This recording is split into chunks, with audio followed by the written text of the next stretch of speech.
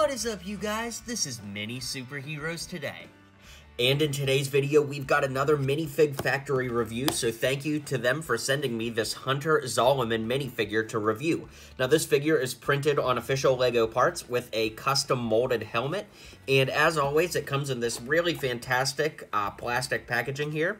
Then you can open it up, and there's a collectible trading card inside that's about the consistency of like a hotel room key or a credit card, and you can see that it's got some custom artwork on there, as well as their logo on the back, so we'll just slide this back in here, put this back in here, and let's jump into taking a closer look at the minifigure. All right, so here we are taking a look at the figure, and it's really unbelievable how much uh, detailed printing is on this.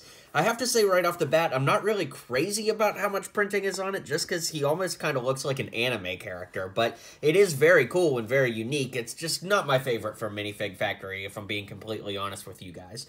The printing on the side is amazing, though. The way that the red belt goes the whole way around, the printing all the way around the boots is very cool, and then, of course, this custom helmet piece is nice, and we've got a custom printed head up there, and putting it all together makes for a really cool reverse flash Hunter Zolomon minifigure. So drop a comment below. Let me know what you think of this. Thanks again to Minifig Factory for sending me this. And last but not least, if you want to order this figure, I'll drop a link in the description below where you can check out this figure and all of their great figures on their website.